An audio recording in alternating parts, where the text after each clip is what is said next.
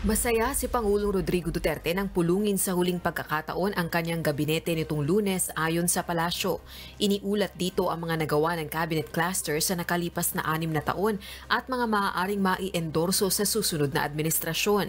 Nagpasalamat na rin ang punong ehekutibo sa mga nagawa ng kanyang cabinet official sa nakalipas na anim na taon. Ayon kay Acting Presidential Spokesperson at Presidential Communications Secretary Martin Andanar, masigla ang presidente at looking forward na sa kanyang retirement sa Davao City.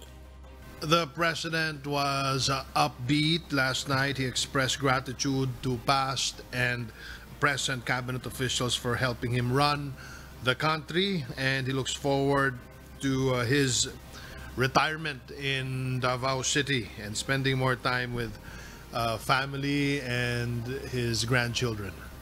Ayon sa Malacanang, hindi naman ito nangangahulugang tapos na ang trabaho ng Duterte administration. It's the last cabinet meeting of the Duterte administration, yung full cabinet meeting.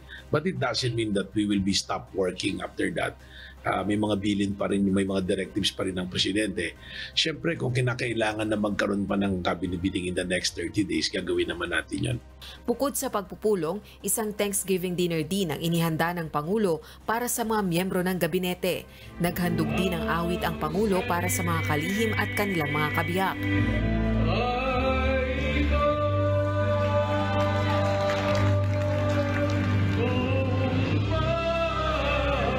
Ayon kay Acting Presidential Spokesperson at Presidential Communications Secretary Andanar, nakaantabay lang sila kung meron pang Talk to the People address na isasagawa ang presidente sa mga susunod na linggo.